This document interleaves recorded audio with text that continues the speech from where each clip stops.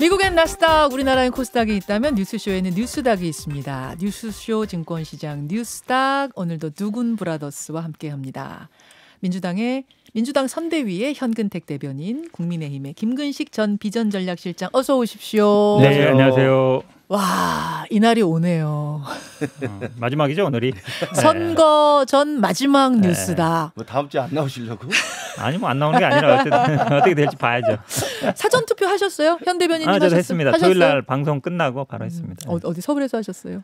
아, 저 집 근처에서 했는데요. 근데 사실은 뭐 보니까 줄이 되게 길어서 예, 예. 사람들이 아마 사전 투표나 아마 본 투표나 기다리는 시간은 제가 보기에 별 차이 없는 것 같습니다. 아, 30분씩 뭐 1시간씩 기다리는 거 엄청난 열기였어요, 같습니다. 네네네. 진짜. 어떻게 김 교수님 하셨어요? 저는 줄이 길어서 안 했습니다.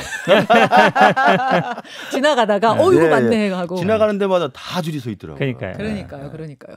그 지- 사전 투표 얘기를 잠깐 안 할 수가 없는데 확진자 투표 관리에서 상당한 지금 부실이 발견되고 있는 이런 상황. 예. 앞에 뭐 김기현 원내대표도 굉장히 지금 분노하고 계시고 뭐 김기현 원내대표뿐만 아니라 민주당도 지금 아, 분노는 그렇죠. 마찬가지죠. 네네네. 왜 이런 부실이 벌어진 거예요? 아마 이 선관위에서 대응 준비를 잘못한 것 같습니다. 지금 보면 뭐한 투표소에 한 20명 정도 내올 걸로 봤다는데 지금 확진자가 폭증했거든요. 많죠. 그러면 이제 뭐 수백 명씩 온다는 건데 네, 네. 아마 그러 보니까 사전 준비 뭐 리허설도 했다 그러는데 제대로 안 된 거죠. 그러니까 음. 아마 총선 때도 지금 뭐 이렇게 바구니 옮겨서 했다는데 사실은 그때도 제가 보기에 그거를 문제점을 좀 지적했어야 된다고 보는데 그러지 음. 못했던 것 같고 음. 결국은 아마 선관이라는 조직이 예, 아시겠지만 이제 대법관이 위원장이고. 비상임이거든요. 그리고 어, 사무국장이나 뭐 이런 사무처장 이런 네. 분들이 실무를 하다 보니까 약간 책임 소재가 불명확한 게 있습니다. 지역도 마찬가지예요. 지역도 선관위원장은 부장판사가 하고 아. 또 실무는 사무처장 하기 때문에 그럼 위에 분들은 출근 안 하시는 거군요. 비상임이죠. 비상임이니까. 판사들이니까. 왜냐하면 판사하면서 그걸 동시에 하는 게 아니잖아요. 아. 그래서 이 책임 소재 부분이 전 어제도 보면서 사실은 이 정도 사건이 되면 보통 다른 행정기관 같으면 위원장이 음. 대국민 나와서 직접 나와서 음. 국민들한테 해명도 하고 소명해야 되는데 네. 그게 안 이루어지고 있는 거거든요. 그러니까 저희도 오늘 인터뷰 나오시라고 선관위에다가 어제 하루 종일 얘기했는데 아무도 못 나온다고 그러더라고요. 그러니까요. 얘는 그런 게 좀 문제가 있다. 왜냐하면 국민들한테 이건 분명히 설명해야 되는데 어찌 보면 안 하는 거죠. 그래서 저는 이 선관위원장이 이건 대국민 사과를 직접 그러니까 지금 구두로만 하고 저기 서면으로만 하고 있잖아요. 네, 이렇게 네. 하지 말고 직접 나와서 기자회견도 하고 알겠습니다. 해명을 해야 된다 보고 있습니다. 요 앞에서 이제 김기현 원내대표 이야기도 들었기 때문에 오늘 민주당 이야기도 한번 좀 들어보고 또 아마 오늘 상한가 한가에서 얘기가 나올 수도 있을 것 같아요. 상한가 한가 들어가기 전에 말입니다. 전에 아, 오늘 뉴스연구소에서 잠깐 언급했던 그 뉴스타파의 어젯밤 보도 이야기를 네네. 해보고 싶어요. 김만배 씨와 전 언론노조 위원장이죠. 신학님 전 위원장이 지난해 9월 15일에 나눈 대화 녹취록이라고 하는데 일단 좀 들어볼까요? 그 당시에 윤석열이 과장. 그래서 박영수를 소개해줘 내가 박영수가 진단을 해더니 나한테 야 그놈 보고 가서 돌돌돌돌 떨고 오니까 커피 한잔 마시고 오라래.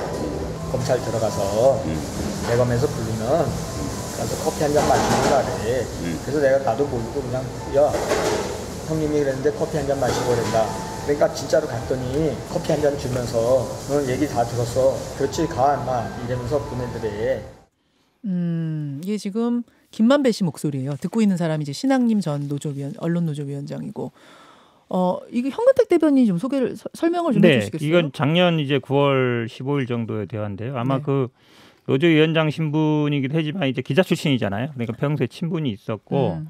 그러니까 아마 대화를 한 것 같은데 핵심적인 건 두 가지입니다. 지금 계속 윤석열 후보는 이 부산저축은행 봐준 게 아니다 이렇게 얘기하는데 김만배 씨 지금 대화에 보면은 그 조모 씨가 찾아오니까 내가 소개를 해줬다. 근데 조우영이 그러니까 주산 부산저축은행 브로커잖아요. 그렇죠. 예. 그 당시에 이제 그 수사를 받기 직전이었는데 자기를 찾아왔더니 내가 직접 어떻게 얘기하냐. 그러니까 이제 박영수 변호사를 소개해줬다.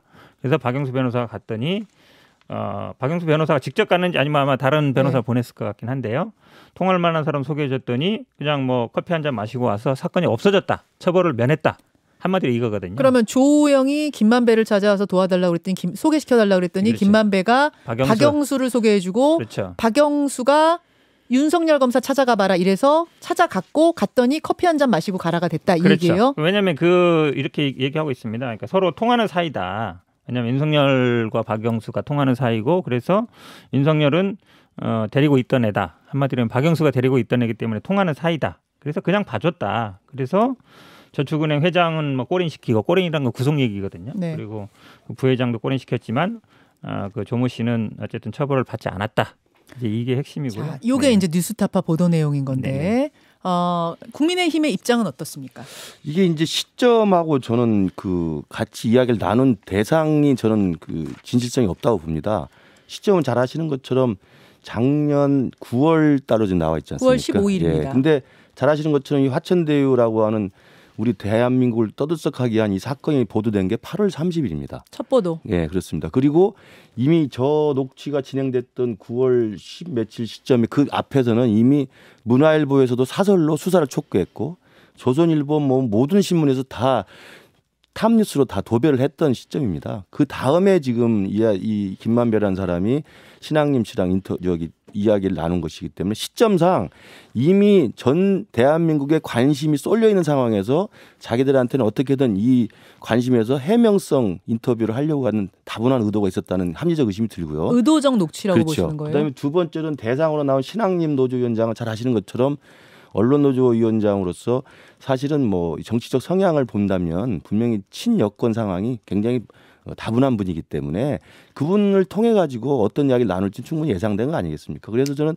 인터뷰 시점, 인터뷰 대상에 음. 있어서는 이미 화천대유라고 하는 이재명 후보에게 가장 치명적인 의혹이 제기된 상황에서 이걸 해명하기 위한 의도적인 녹취가 아닌가라고 생각할 수밖에 없고 저 내용 자체도 틀렸다고 보세요? 아, 아니면 내용은 당연하죠. 인정해요? 당연하죠. 왜냐하면 이건 그 윤석열 후보가 계속 이야기했던 거지만 특검하자고 그래서 처음엔 특검을 우리 국민의힘에서 법안을 제출했을 때 물타기 하려고 민주당 쪽에서 그럼 부산 저축은행 같이 하자고 그랬었어요. 그러다가 나중에 민주당에서는 처음에 반대했지만 윤석열 후보가 그 받아라 그랬습니다. 그래서 부산저축은행도 특검에 다 넣는 걸로 다 해가지고 계속 그 입장을 가져왔던 겁니다. 음. 그러니까 부산저축은행에 대한 그 윤석열 후보 입장은 처음부터 일관되게 특검에 넣어도 된다는 아주 네. 명명백백한 결백을 이자- 이야기하고 있는 거죠. 주호영이 찾아갔을 때 커피 마시고 가까지는 사실인데 그 다음에 뭐가 없었다는 거예요? 그건 아니면 커피 마시러도 거죠. 안 왔다는 거예요? 커피 타준 사람이 지금 윤석열 후보가 아닌 걸로도 드러나 있지 않습니까? 여기서도 아. 박모 검사라고 돼 있지 않습니까? 아. 그러니까 윤석열 전혀 모르는 거예요. 그러니까 이것은 김만배라고 하는 이 대장동 게이트의 핵심 범죄자가 이미 언론에 모든 범죄 의혹이 제시가 된 상황에서 이것들을 면피하기 위해서 그리고 이 녹취록 내용을 보면 이재명 후보를 계속 두둔하잖아요. 보호하고 방어하려고 하잖아요. 그러면 공범을 방어하는 게 사실은 그 그게 진짜 범인이죠. 자, 현근택 대변인님. 반박 안 할 수가 없는데요. 이게 보도는 나왔습니다. 수사는 되기 전이고요. 그 녹취록에도 보면 아 이거 보도되면 안 된다 이런 얘기 하고 있습니다. 그러니까 뭐 의도적인 인터뷰라면 그런 얘기를 할 필요가 없는 거죠. 그다음에 특검 얘기 계속 하시는데요. 특검에 저는 아마 저축은행 사건 안 들어 있는 걸로 알고 있습니다. 왜냐하면 그 국민의힘에도 제시한 거예요. 그럼 확인해 봐야 되겠지만 그다음에 사실은 지금 불리한 얘기만 나오면 계속 이런 식으로 얘기하고 있어요. 그러니까 예전에 처음에 뭐 그분 얘기 나왔을 때는 이거 갖고 얼마나 얘기 많이 했습니까? 그때는 뭐 그분이 이재명 후보다. 그다음에 뭐 그분의 주인이 계속 그렇게 몰아갔다고 말씀드리고요. 사실은 욕, 욕한 게 아니죠. 지금 보면은 오히려 그런 얘기도 있습니다. 지금 대장동 관련해서는 아, 법적으로 성남시에서 그 자기 저 유리하게 공모 조건을 만들어 가지고 돈을 많이 가져갔다. 그래서 내가 뭐 공산당이라도 욕하고 막 이랬다. 이런 얘기도 있거든요. 그 말은 아, 공산당이라고 욕하는 게 두둔하는 거겠습니까? 그래서 자기들은 처음에 이거를 설계를 잘해 가지고 법조인들한테 팔라 그랬는데 성남시에서 너무 많이 3,700억이나 배당 받아 가지고 오히려 안 들어왔다. 이렇게 얘기하고 있는 겁니다. 이게 두둔하는 거겠어요? 원망하는 거죠, 오히려. 그 어. 부분도요. 그 김경률 회계사가 페북에 올렸던데 그러니까 이 녹취록에 그런 내용이 나오는 거예요. 이 김만배가 자기를 이제 면피하기 위해서 사실은 이게 성남시가 너무 조건을 까다롭게 해서 나는 사실을 이 천화동인 수십 명 다 팔려고 했더니 안 팔리더라. 그래서 일곱 명밖에 안 됐더라고 이제 면피를 하는 겁니다. 근데 김경률 회계사가 올린 게 뭐냐면 이 부동산 기획을 하는 사람이나 이쪽에 관심 있는 사람은 다 한다는 거예요. 그게 면피용으로 할 수밖에 없는 게 최소한 1조 원대의 개발 사업인데 그게 저렇게 진행됐을 때 아 이게 수익이 안 날 것 같아서 돈을 투자를 않겠다고 한다는 것은 완전히 새빨간 거짓말이라고 김경재 이사가 일단 올린 바가 있습니다. 자, 오늘 뭐두 분이 상한가 하한가 가져오신 거를 이제 넘어가기 전에 전에 오늘 어젯밤부터 좀 뜨거운 내용이라 양당에선 어떻게 이 보도를 해석하고 계시는지 좀 들어봤습니다. 아마 국민 여러분들이 설명 들으시면서 나름의 판단을 하시리라 보고요. 자, 본론으로 가겠습니다. 현근택 변호사, 현근택 대변인, 김구식 교수의 상한가 한가 키워드부터 확인하고 가죠. 현 대변인님. 일단은 어, 윤석열 후보가 계속 이제 그뭐 음모론, 뭐 색깔론 얘기하고 있는데요. 그래서 극우 본색을 드러낸 윤석열 하한가로 했습니다. 극우 본색 윤석열. 영웅 본색. 영웅 본색. 극우 본색. 그건. 아니고요. 사실은 이제 논란이 됐던 거 사전 투표 논란이잖아요. 네, 사전 투표 논란인데 뭐라 그랬냐면 보수층을 아, 잠시만요, 분열시키기 잠시만요. 위한 키워드부터 네, 확인한 다음에 하나. 풀어갈게요. 김근식 교수의 키워드는 예, 저희들은 이제 어 3월 9일 이유를 준비해야 되기 때문에 이미 지난주에 이 안철수 후보의 단일화를 통해서 일단 승기를 잡았기 때문에 이 승리의 쐐기를 박은 야권 단일화를 저는 상한가로 어, 잡아봤습니다. 승리 쐐기 야권 단일화. 네. 자, 그렇게 키워드를 확인하고 현 대변인 이어가시죠. 이 어제 물론 이제 뭐 계속 논란이 됐었고 저도 뭐 선관위 잘했다고 생각하지는 않습니다만 음. 이거를 근데 윤석열 후보가 뭐라고 얘기하고 있냐면 네. 부정선거 의혹을 가진 보수층 유권자들에 대한 분열책이다. 어. 한마디로 얘기하면 어, 공작이다 이러면서 어, 한마디로 하면 이게 음모론을 얘기하고 있는 거거든요. 그러니까 음. 선관위가 선거 관리를 잘못한 거는 맞습니다만 이거를 어, 보수층을 분열시키기 위한 작전이다. 이런 거 얘기하면 예전에 이제 사전 투표는 음모론 옛날에 뭐 황교안 전 대표가 계속 그 얘기 하지 않았습니까? 예. 이제 그거 연장선 아니냐. 근데 단순히 이 얘기만 하는 게 아니고 네. 북한 미사일 쏜 게 뭐 민주당 선거를 도와주기 위한 거다 한마디로 얘기하면 저도 어. 참 이해하기 어려운데 오히려 저희들은 반대로 보고 있거든요 안보 불안이 나와서 이게 지금 오, 오히려 저희들한테 불리하다고 보고 있는데 예. 이거를 또 이렇게 말씀하시는데 또 이렇게만 얘기하는 게 아니라 네. 또 28번 뭐 부동산 정책을 했는데 집값을 의도적인 거다. 올리려고 한 거다. 왜냐하면 집까지면 민주당 안 찍어주기 때문에. 그래서 아니 이분이 어디에서 이런 얘기를 듣고 생각하는 것인지 저는 참 납득이 잘 안 가요. 상식은 가진 사람 입장에서. 그래서 무슨 특정 보수 유튜버를 너무 많이 보는 건 아닌지 어. 아니면 무슨 법사들한테 얘기를 너무 많이 듣는 게 아닌지 왜냐하면 상식적이지 않잖아요. 이게 상식적이지 않은 얘기를 너무 많이 하셔가지고 네. 제가 보기에는 이 특히 이저 사전 투표 음모론은 황교안 전 대표 생각이 많이 나고 있습니다. 자, 그런 이유로 극우 본색을 드러낸 거 아니냐, 김근식 교수님. 아까 우리 김현정 앵커께서 말씀하셨습니다만 국민들은 영웅 본색으로 생각할 것 같고요. 어, 아니 제가 저는 그냥 단순하게 그렇죠. 떠올린 영화, 영화, 이름 제목이 패러디하셨나 뭐 보다 한 거예요. 다른 의미는 없어요. 네. 우리 저 현 변호사 말씀하신 그 내용을 제가 자세히 설명드릴게요. 사전 투표 음모론은 제가 그때 어저께도 그 강동 천호사거리에서 유세할 때 같이 있었는데요.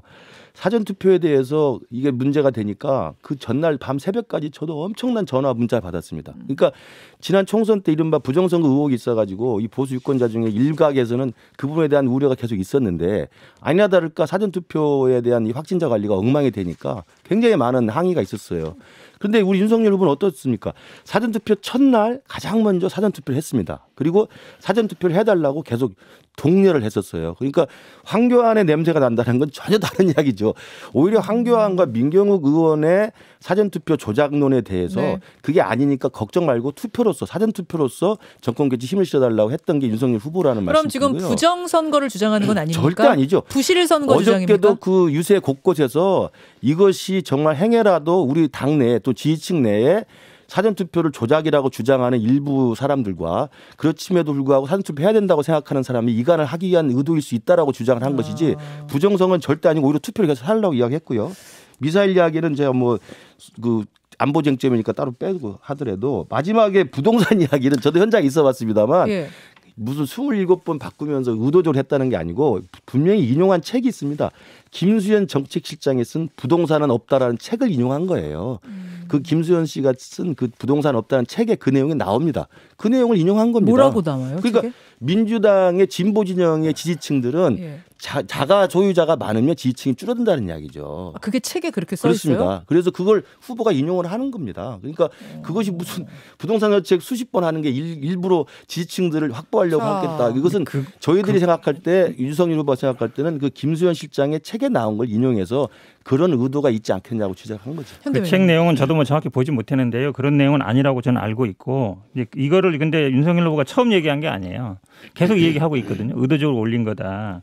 아니 사실은 의도적으로 올릴 정보가 어디 있겠습니까? 말이 안 되는 건데 지금 내가 제가 왜이 얘기를 하냐면요. 이 음모론 왜냐하면 이제 작전이다, 공작이다 이런 얘기를 쓰고 있거든요. 이저 저 어제 저 사전 투표 얘기를 그 단어에 다음에 단어에 그게 있었어요. 그렇죠. 그런 얘기가 있고 그다음에 사실은 저 김은혜 공보단장도 보면 이 마치 이제 투표용지 사진을 가지고 1번 기표용지 돼 있는 거 보고 마치 이제 직접 얘기는 안 하지만 그걸 가지고 뭐 1번 이재명 후보 찍은 투표를 나눠준 것이 어떤 부정선거 아니냐라는 취지로 말하는데 사실은 부산에서는 어, 윤석열 후보 찍은 표도 나눠줬던 거예요. 그러니까 네. 이게 어찌 보면 직원들이 이- 이미 기표된 거를 다시 나눠주면서 생긴 것이지 이걸 마치 뭐 부정선거처럼 몰아가는 건 문제가 있다라고 보고요. 사실은 이 에, 준비 부족을 지적하는 것과 공작이냐 뭐 그다음에 작전이나 이런 거 얘기한 건 다른 거죠. 그러니까 그런 하지 말아야 될 단어를 있는데 이거를 어 저는 좀 위험성이 있다고 보는 게 이제 선거 사후에 이게 문제가 되면 이 문- 논란 설거리가 있거든요. 근데 그거는 여야가 어제 다 질책하지 않았습니까? 선관위 문제를 지적하고 있는 부분이라서 넘지 말아야 될 선을 넘고 있다 이렇게 보고 있습니다. 그, 그 김수현 실장 책에는 어떤 wording이 있는 건지는 좀 정확히 알 필요는 있는 거. 두 분의 주장이 완전 다르기 때문에 한번 fact check가 시간 내에 가능하면 본 방송 내에 가능하면 밖에서 좀 해주시고요. 그나저나 그 어, 주말 사이에 또 하나 화제가 된 게 미국 타임지 인터뷰였어요. 이재명 후보의 인터뷰가 실렸는데 이걸 두고도 여야의 진실 공방이 있더라고요. 국민의힘 측에서는 이 기사가 이재명 후보가 경기도 지사 시절에 타임지에다가 광고비로 1억 900만 원, 또 CNN에다가 1억 6,900만 원 쏟아부은 것과 관련 있는 것 아니냐 이렇게 문제를 삼으셨네요. 뭐 이건 이제 실제로 이재명 지사가 경기 지사 시절에 경기도의 홍보비 명목으로 해서 지나치게 많은 과도한 금액을 쓴 건 많이 지적이 됐던 거고요. 그렇다고 뭐 타임지가 그 광고비를 받았다고 그래서 이재명만 하고 뭐 윤석열 안 하고 그랬다고 보는 건 절대 아니라고 봅니다. 예, 예. 다만 이게 이제 타임지에 실렸다고 하는 것을 민주당 측에서 대대적으로 보도하면서 타임지에 실린 사람이 계속 대통령이 당선됐다 아. 이런 식의 이제 확증적인 편향을 보이고 있는데 그 뭐 이재명 후보 측이나 타임지에서 이야기한 것처럼 윤석열 후보도 인터뷰를 요청했으나 성사되지 못했다는 거 아닙니까? 음. 그렇다면 자기 모순이죠.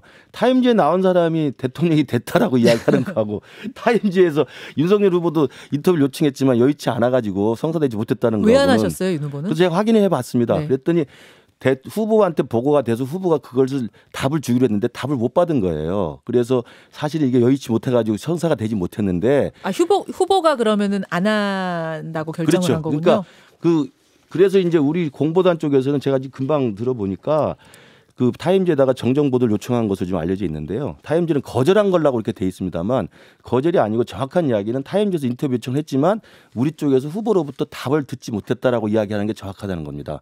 그게 이제 똑같이 이재명 후보도 VOA라 VOA라고 미국의 소리 방송에서 이재명 후보에게 인터뷰를 요청했는데 이재명 후보가 답을 주지 않아가지고 성사가 되지 못했거든요.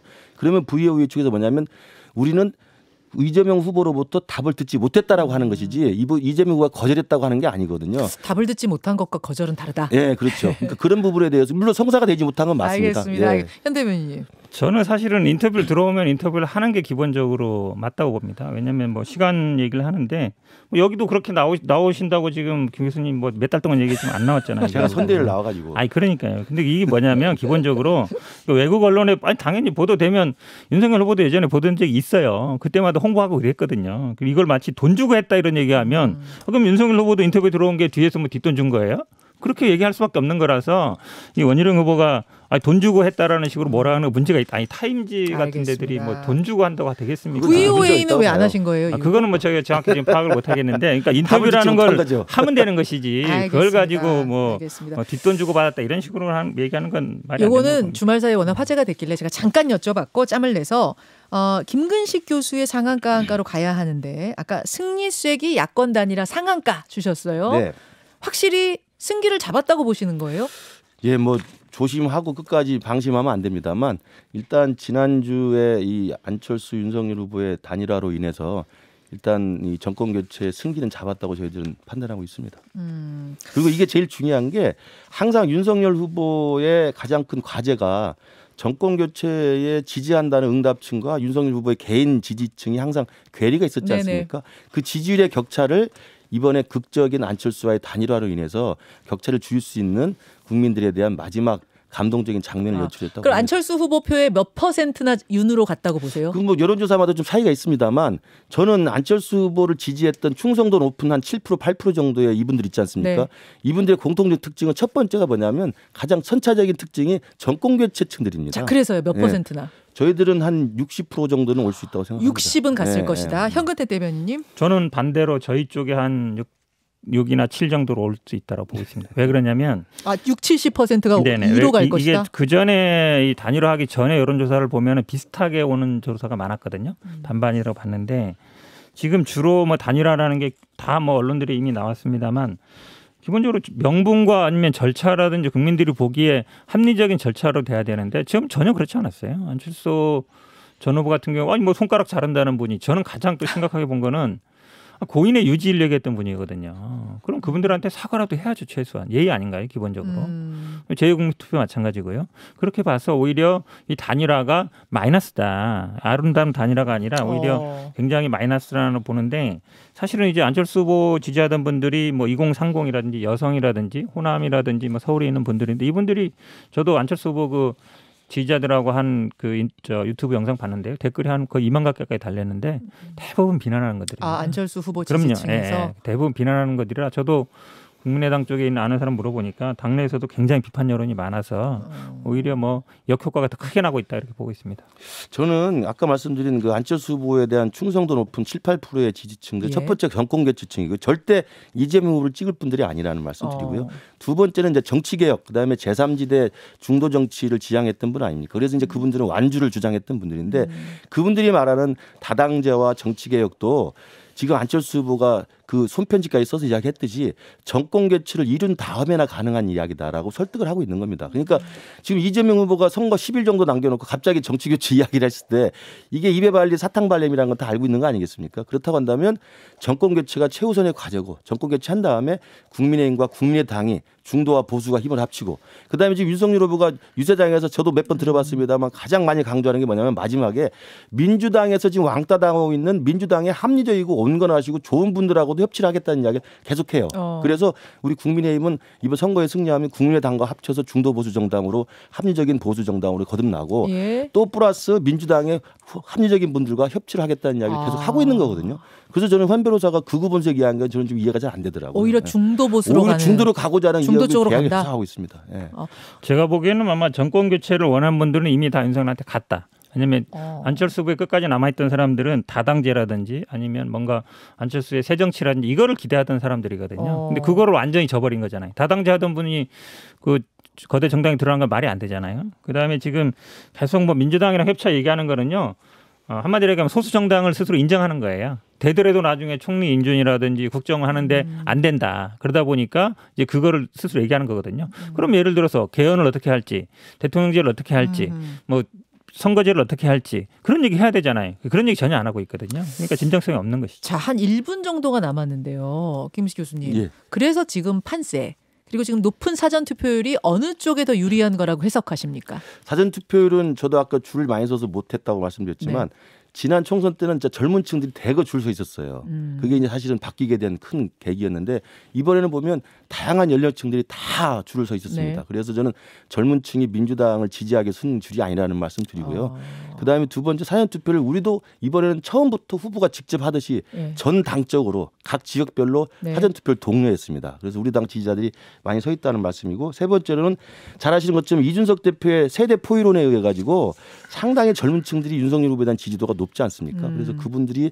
정말 줄을 서가지고 정권 교체 힘을 실어줬다는 말씀드리고 마지막 하나 말씀드리면 단일화에 대해서 계속 민주당 측에서 안철수를 비난하고 야합이라고 이야기하는데 바로 단일화가 되기 전까지만 해도 이재명 후보가 안철수 후보한테 얼마나 러브콜을 보냈습니까? 음. 그때는 안철수 후보 엄청 칭찬했었습니다.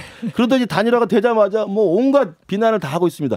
저는 그게 민주당과 이재명 후보가 아 단일화로 자기가 알겠습니다. 졌다는 것을 느끼는 멘붕 상태라고 생각합니다. 자, 판세와 사전 투표를 해서 뭐 사전 투표는 기본적으로 민주당 지지자들이 많이 해왔습니다. 최근에 와서 이제 국민의힘에서 좀 얘기 뭐 하겠다 하는 거고요. 여론조사도 보면은 민주당 지지자들이 압도적으로 뭐 높습니다. 과반 이상 되는 경우도 어. 있었기 때문에 그리고 일단 호남에서도 이 투표율이 높다는 것도 좀 그렇게 보고 있고요.